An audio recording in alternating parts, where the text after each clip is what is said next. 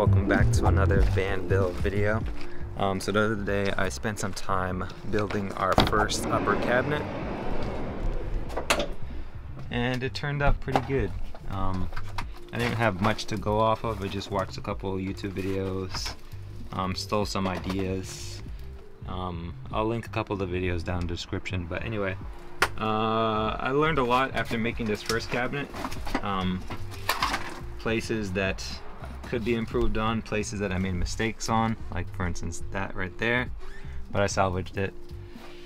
But I will try to walk you through what steps I took and then some tips for the other two cabinets I'm gonna build out. So step number one was to make a cardboard template, usually cutting it and getting closer and closer to the wall until I had a piece that kind of fit and was um, at least 90 degree angled down.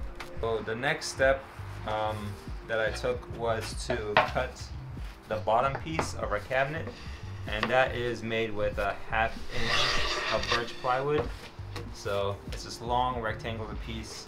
Um, it just depends on how long you want your cabinet to be. I believe now we can start assembling. Um, I will say a word of advice whenever building out these upper cabinets is to do one at a time, like to completion. Don't try to make cuts for all of them at once because you never know when you might make like a, a uh, measurement mistake and that'll just mess you up.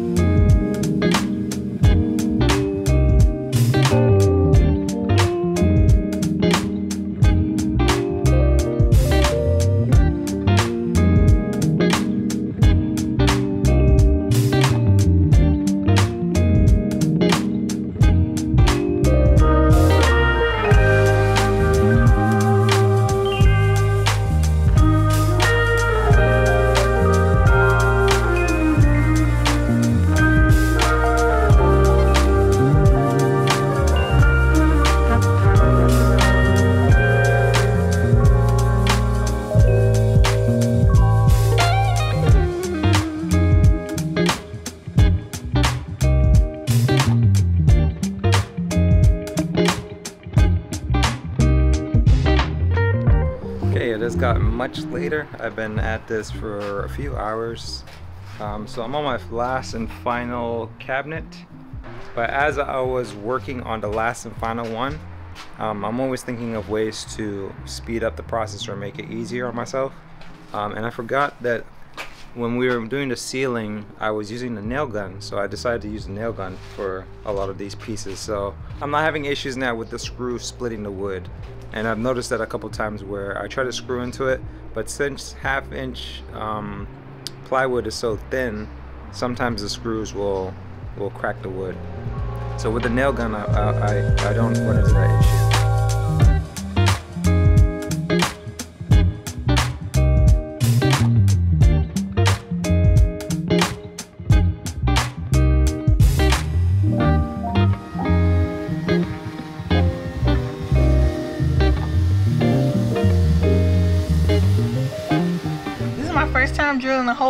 anything.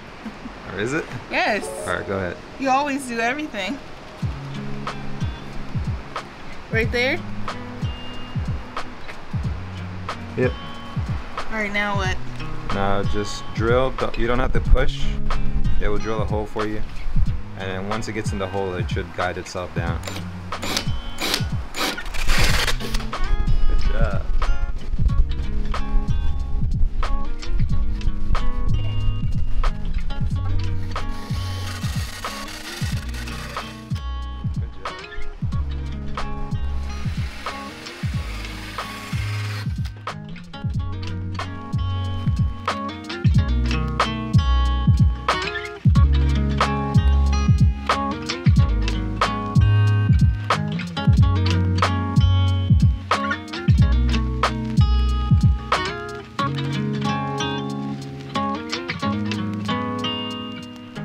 Hiding. Now I'm getting down and dirty. So we just finished priming the spots where we're gonna end up putting paint. Um, we did all three of them. Now we're just gonna let them dry. The inside we're just gonna do like a clear coat. of the polyurethane. And then the outside we'll paint in the cabinet color that Dyonna chose.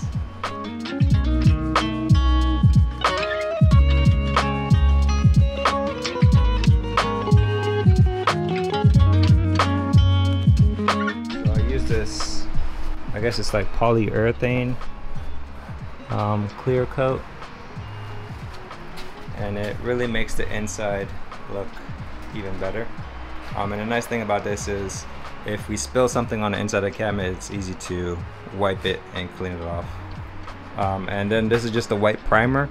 Uh, we'll probably let this um, dry for the day and then we'll come back and then paint over it but it looks pretty good. So I did all three of them. Those two up there are just drying out.